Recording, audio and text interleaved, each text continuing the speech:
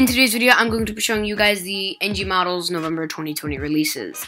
Uh, now, I'm kind of going to be rushing through this, because um, there's a lot more than last month's, so I just apologize. Uh, and I wasn't able to release this video when the actual releases came out. Uh, I'm so sorry, I was just in a cabin in Pennsylvania with my family, so I wasn't able to do any of that. Um, but anywho, uh, let's start off. Uh, starting off, we have the uh, Airbus Beluga A330. This is what it looks like. Looks pretty nice. Um, overall, it's, it's a very appealing model. Uh, this is going to be very popular with you German and French collectors. Um, and basically, here's a little bit of um, backstory behind the Airbus A330 Beluga. So basically, in the um, 1970s, uh, when Airbus first became a thing, the Super Guppy was developed, uh, which was kind of the first generation Airbus Beluga. Um, and then once the Airbus A330 was developed, the Super Guppy was replaced by, I believe, three or four uh, Airbus Belugas. Uh, but anywho, is what the model looks like, or what will look like. Uh, registration is Foxtrot Golf X-Ray Lima, India. Uh, scales 1 to 400, and it is, wow, $63. And, um, it's just Beluga XL number 3. Wow, I'm getting this. I am 100% getting this. This is a deal, man. Uh, Delta 737-800. Uh, this is just a normal livery. Uh, I'm getting it because I really need it for Newark. Uh, Delta do fly A321s, 737s, and CRJ 900s to Detroit, Minneapolis, and Atlanta from Newark. Uh, the majority of the time fly a 737-800, so this would really help. Uh, now, I was going to get a Gemini Jets version of it, uh, but I decided to wait for NG, and my work did pay off, as now uh, the Delta 737-800 is released. So, this is definitely on my to-get list. Uh, I have already pre-ordered it, uh, so in mid-December, uh, early November, early December, mid-December, you guys should expect an unboxing of that. But anywho, this is what the model looks like. Uh, and now let's move on to the other information. Uh, registration is November 3734 Bravo. It's 1 400 scale and it's 4559. Okay, moving on, we have this WestJet uh, 737-800 with split scimitars in the old livery. Um, you Canadian collectors, y'all are gonna love this. This is going to sell out fast, as the Gemini Jets one sold out very fast, from what I know. I've talked to people about it. Uh, it sold out very fast, but personally, um, me personally, I don't know because I was too young. I was like six when this was released. Uh, I haven't even. I've only been collecting since December of last year. Keep in mind. Uh, but anywho, this is WestJet 737 800 split scimitars in the old livery. Um, it is one to 400 scale. Uh, is Charlie Golf uh, Juliet Lima Zulu. It is 45.59, and of course, has a scimitar winglets. Moving on. Oh, wow. NG, you guys can do better than this, honestly. You got a WestJet 737-800 split scimitars old livery in the one number 100 Boeing 737NG next generation. This is going to be popular with you Canadian collectors, like I said, with the last model. But literally, the only difference between this the regular WestJet and this WestJet is this tiny print, which is gonna look really, really tiny when it comes out. Like, come on. At least make like a special livery, like the Disney livery. That that one's really rare. Uh, but this is also gonna sell most likely because there right now, from what I know, is a shortage of WestJet models. Uh, but anywho, there's a WestJet 737-800. Uh, registration is Charlie Golf Alpha Whiskey Sierra. It is scale 1 to 400 and is 4559. Moving on, uh, we have a Air China 737-800 in the Beijing 2022 Winter Olympics livery. Literally just a normal Air China 737-800, but just like shaded darker blue. The farther down you go through the fuselage, these two weird characters and these tiny logos. So, but still though, this is probably gonna be popular among you, like maybe Korean collectors, yeah, Taiwanese collectors, Japanese collectors, as the 737s um, do fly around that area. Um, but anywho, let's move on to the other information. Uh, registration is Bravo 5425. It is scale 1 to 400 and is 4559. Moving on, we have a promotional aircraft. I don't know if this is, does this livery exist in real life? Comment down below. Like, I have no idea, actually. Uh, it is the Air. Xiamen. I'm to call it Xiamen because Beijing Dasing, you say Dasing. So maybe Xiamen. Uh, I'm just to call it Xiamen. Pardon me for my pronunciation. I'm not Mandarin. I'm not Korean. I'm not Chinese. I'm not Japanese. I don't know. I know this isn't Mandarin, but I don't speak Mandarin, so I'm just going to call it Xiamen. Um, if I'm incorrect, uh, please don't hate me for it. Um, please comment down below what's correct. Uh, but anywho, it is in the Beijing Dasing livery.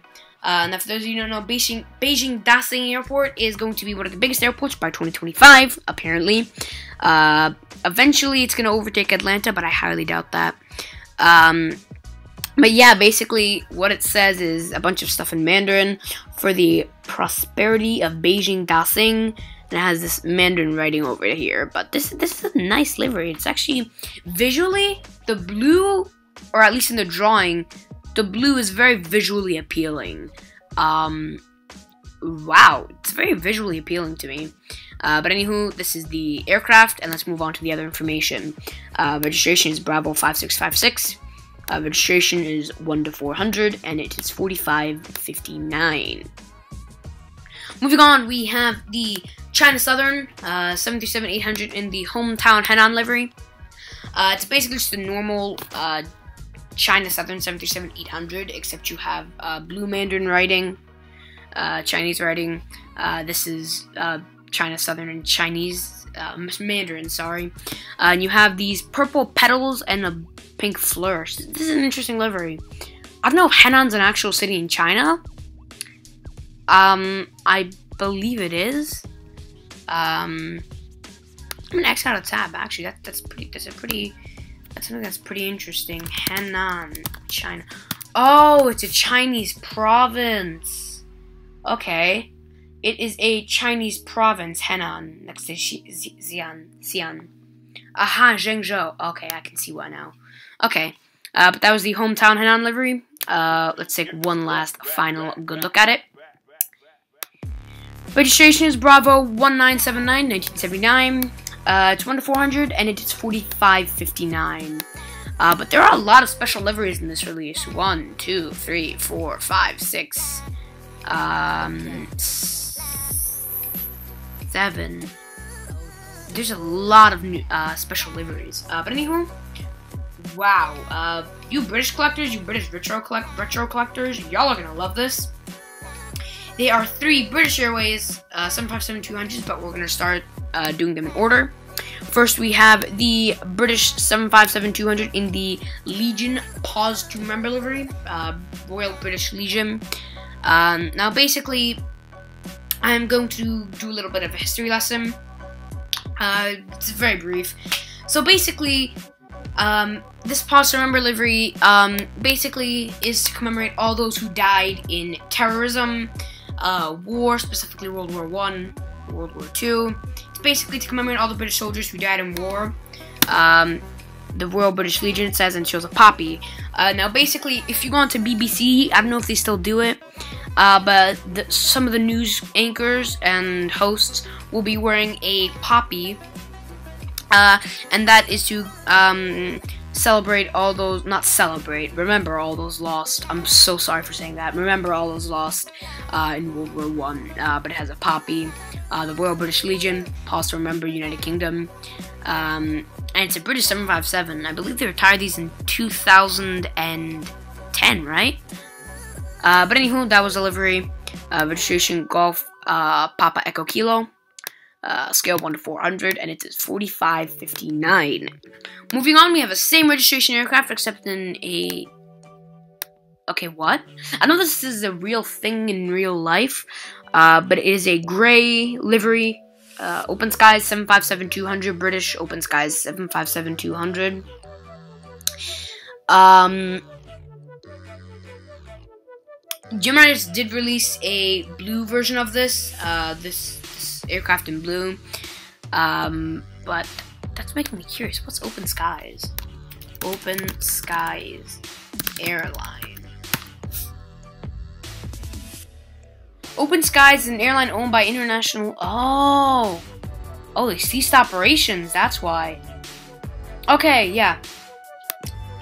Now, prior to searching up Open Skies, um, uh, they did fly to Newark, I believe, in 2008 using this aircraft. Um, but yeah, one final good glimpse of the aircraft. Here you guys go. And let's move on to the information. Uh, it's the same registration as the Pause to Remember Golf Bravo Papa Echo Kilo.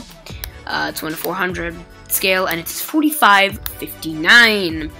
Moving on to the last British Airways aircraft of this release, we have the British Airways 757-200 in the Union Jack uh, livery. Basically a normal British 752. Uh, but, okay, the livery is normal, but the engines kind of look out of whack. I don't know if this is an animation error or if it's actually intention.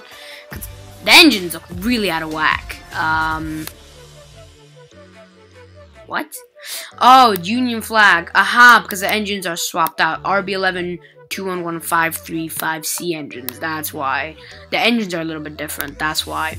Uh, but it's just a normal uh, livery British Airways 757-200. Uh, registration is Golf Bravo Mike Romeo Bravo. Uh, it's scale 1 to 400 and is 4559. Moment of silence for NG. La Compagnie uh, 757-200. Um, if this was 2019, I'd definitely get it for EWR, but it's not.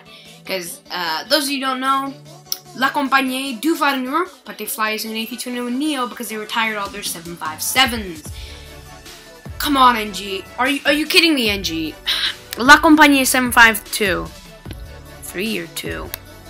Two. Still though, come on La Compagnie. Are you, not La Compagnie, NG. This really is, this is really making me angry. Um, I might get this though. Taxi, come. Sorry guys, my dog is going a little bit nuts. Um, I might get this. Um, but most likely I am not going to get this. Taxi, lie down. Lie down. Lie down. Uh, guys, I'm going to quickly end the recording, uh, and I'll be back once I've finished handling with my... Um, okay, so, um, that situation handled, my dog handled. Uh, like I said, this is the La Compagnie, uh, 757-200. Um, I did spot this at Newark in June 2019 when I was on a Virgin Atlantic A330 going to London. Um, but honestly, this model is not accurate.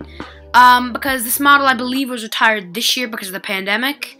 So, I don't get why NG is releasing it, because for people who do, like, Paris Orly and La Compagnie Focus Hubs, why would they buy this? This is, like, the exact opposite model of what they need, uh, which is A321 Neos. Uh, but that's just my opinion. But anywho, this is the model.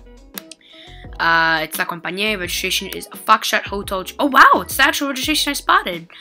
Uh, it's Foxtrot uh, Hotel Charlie India Echo, scale 1 to 400, and it's 45.59. Moving on, we have an untitled, uh, untitled uh, 747SP. From what it looks like, it is a Qatar, Qatari government uh, 747SP. Um, basically, and no, it's not Qatar, it's Qatar. Um, it's Qatari government. I just say Qatar. Qatari plural. I just say Qatari. But then for Qatar, I say Qatar. Uh, but you're actually supposed to say you don't say Qatar. That's a, a foreign version of it. The actual way Qatari people say is they don't say Qatar. They say Qatar. That's how you're supposed to say it. But uh, anywho, the Qatar. I'm just gonna say Qatar for you guys to understand me. Uh, Qatar government, from what it looks like, 747 SP. Uh, looks pretty nice. Uh, you got the Qatar flag and I believe the Qatari coat of arms. Uh, but this is it's actually pretty interesting. Its registration is an Indian registration, Victor Papa Bravo Alpha Tango. Uh, but I don't know. Maybe it's an error. I don't know. Uh, but anywho, Victor Papa Bravo Alpha Tango. The scale 1 to 400, and the price is $57. Moving on, we have a South African Airways 747 SP. Uh, this is probably going to be, and the other 747 SP, those aircraft are probably going to be popular with those of you who are um, retro collectors. Uh, this is in the delivery livery. Livery, livery? Livery? Livery? Um, looks very 1970s-ish, because uh, it's in the 1970s delivery livery. Uh, but looks pretty nice. Um, like I said, this is going to be popular with you South African retro collectors. Uh, but yeah. Um, registration Zulu Sierra Sierra Papa Foxtrot. Uh, 1 to 400. It's $57. Um, but I don't know why 747 SP, something that's shorter than like trying to find a comparison. Something that's shorter than like a A330, I believe, would be would cost so much. I don't know. Uh, but anyway, it's fifty-seven dollars. Moving on. This is on my maybe list. Like first, I need to see the um, Gemini Jets. Um, what you call it? Uh, November 2020 releases, but uh, this is the JetBlue A321 Neo in the what's the livery? Aruba, Jamaica Blue, I Wanna Take Ya. Um, I searched the registration before filming this, uh, and this aircraft does fly to New York JFK, uh, but since is getting like, I, I, believe like lots of these, like, I think like 50 of them, I might get it. Um, but I don't I don't really need it for EWR because we only get A321s and A320s. This is one of those maybe models, like I'll see what's gonna happen in the future with JetBlue and them flying the EWR. And then I might get this in like December. But this is on my maybe list. Definitely, this is a maybe. But I know this will sell out fast. Um, because, of course, the JetBlue model, and those of you who are building JFK, such as uh, CLT Aviation 13 or Gemini 13, same pe same person, uh, I know you're gonna get this. So, but yeah, personally, I don't need it, but I might get it for Newark, even though it might not be that accurate. Uh, but registration is November 2016 Juliet. It is 1 to 400 and it is 45.59.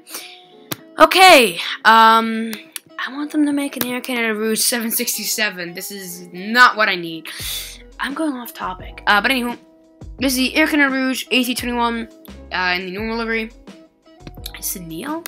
No, no, it's just a normal A321. So basically, um, Air Canada Rouge is sort of Air Canada's budget, low-cost airline.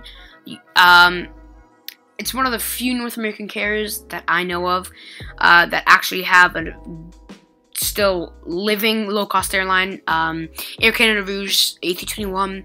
This should be popular for those of you who uh, do Florida because Florida is very, very, very popular uh, for Air Canada Rouge. Uh, southern destinations, Florida, Los Angeles, Dallas, uh, Fort Myers, Fort Lauderdale, those kinds of destinations. I know you guys are going to get this. And it's also going to be very popular with you Canadian collectors who do uh, Rouge hubs or Air Canada hubs. So, personally, I'm not going to get this, um, but I'd love to see this livery in a 767-300 uh, because I actually did fly Air Canada Rouge once. I was in 4th grade. I was, uh, it was in 2016. I was in 4th grade. I was uh, nine, I believe. I flew it in 2016. I was nine, fourth grade, uh, third grade actually, going into fourth. I flew this. Uh, I flew a 767-300 from Prague to Toronto. So that's pretty interesting. Um, but yeah, uh, let's move on to the other information about the model. Uh, registration is Charlie Golf Hotel Quebec, India. Scale 1 400, and it is 4559. Okay, now we are on the home stretch. Wow. We have the Royal Air Force A330 MRTT KC30. This is basically the British version of Air Force One. Um, I, I personally don't need it for Newark, but I really, really like delivery. Uh, this is, by the way, this is the name Boris Force One because, you know, Boris Johnson, uh, at the time of filming this in November 2020, he is the Prime Minister of the UK. Uh, but anyway, this is they nicknamed it Boris One. Uh, this is the MRTT that carries uh, Boris Johnson. Uh, it's an A330. Looks pretty fly. Uh, it basically just says United. It has all the military stuff, and it's just really only difference between any other MRTT is that it's white and it has a Union Jack. This is a very visually appealing uh, livery, personally. To me, oh god, to me, uh, it's a very visually appealing livery. It's a Boris Force 1. I was going to pre-order this in August, um, but I decided not to, and instead I bought uh, a United 773 in turn of this, so that, that was kind of a good decision. Um, but this is going to be very popular with those of you who do like Air Force Base like Kemble, uh, St. Athan, uh, other Air Force bases in the UK. Uh, but this, I know this model is going to sell fast for UK collectors. Uh, but anywho, uh, that's the uh, MRTT. Registration is Zulu Zulu 336. It is scale 1 to 400. Uh, and why? It's $57. Like, I know you... Normal A330 is... Like, if you scroll up to the, um...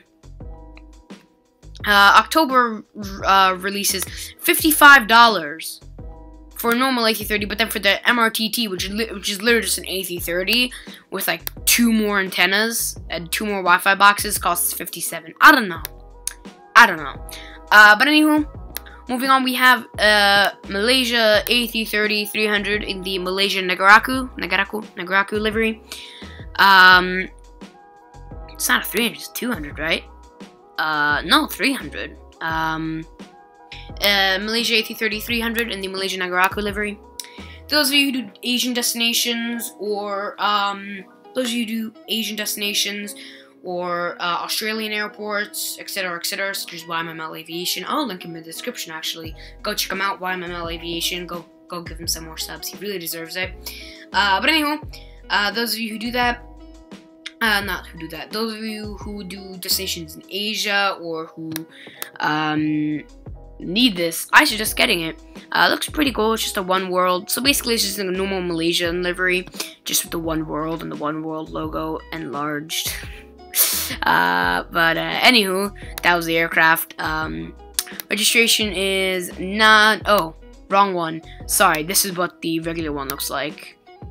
Uh, anyway, registration is 9 Mike Mike Tango Juliet. It's 1 to 400 scale and it is $55. Like, I don't know why, but 57 and 55, two more dollars. I don't know. Uh, but anywho, this was the one world that I just showed you guys by accident. Uh, this is what it looks like. Uh, it's in a large one world logo. Only difference. Registration is 9 Mike Mike Tango Echo, and it is a scale 1 to 400. Now, this is a lot of Asian aircraft. Um, a lot of Asian aircraft. There's one, two, three, uh, four. Wow. Uh, but anywho, we have the China Southern A330 in the China International Import Expo Special Paint Livery. Wow. Chinese airlines have very intricate liveries. I've noticed that. Um, I don't know what this... I don't know what it is. The China International Airport Import Expo. I have no idea what that is. Uh, it looks like flowers, pandas flying on fly. This is a weird livery uh, personally. Uh, I know it's going to be popular. Those of you who are Asian collectors, Chinese collectors, Korean collectors, this is the model for you. Um, personally, I need it. I'm not getting it because I'm not an Asian collector. Uh, I'm not. I don't mean to be racist or anything, but like I don't collect Asian models because I'm doing it. But anywho, this is what the aircraft looks like. Um, registration is Bravo 5940, and it is scale 1 to 400. Okay, last two aircraft. Okay, this model's selling out fast. This is the um, Delta A350-900. Wow, this looks really fly. The art, if the model looks, if this, if the art is the same as the model, and like the model actually looks this good in real life, I might actually get it. I don't need it, but I might actually get it because it looks really, really appealing. Um, I know this is what it looks like. It's just a normal Delta Livery A350. This is going to sell out fast because obviously it's an American model, so, you know, they always sell out fast. Uh, but anyway, that is the model. Uh, registration November 512 Delta November, 1 to 400, and it's $57. Yeah, no, um, NG's starting to milk their A350 mode because why is there two A350s in the new release? uh, but anywho, here's a Iberia uh, last aircraft of today's releases. Uh, Iberia A350-900. Uh, this is in the normal livery. Uh, this is going to be popular with those of you who do JFK, for example. I know Iberia fly to there, JFK, Dallas, etc., etc. Um, but I don't like Iberia's livery. It's too Euro weight for me. Like this, that that that is way too Euro weight. Like why don't you like put a, a flourish or something because of this, or like why don't you extend the yellow across the fuselage because this is like very very bland in my mind. Um, but anyway, here's the aircraft. Um, looks pretty nice. Registration is Echo Charlie November Bravo Echo. It is scale 1 to 400 and it is $57 and it was named Museo del Prado. Uh, I have no idea what that is. Um, but yeah, that does conclude the NG Models November 2020 releases.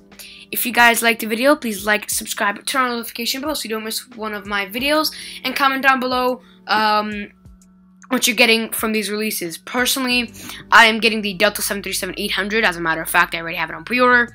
Um, the WestJets, um, JetBlue and La Compagnie, and Air Canada Rouge, they're maybes for me. I might get them, but I might not. Uh, but anywho, once again, thank you for watching today's video. Please like, subscribe, turn on the notification bell so you don't miss my videos. Comment down below uh, which models you're getting, once again. And thank you, and I will see you in the next video. Once again, thank you for watching today's video, and I'll see you guys in the next one. As always, goodbye.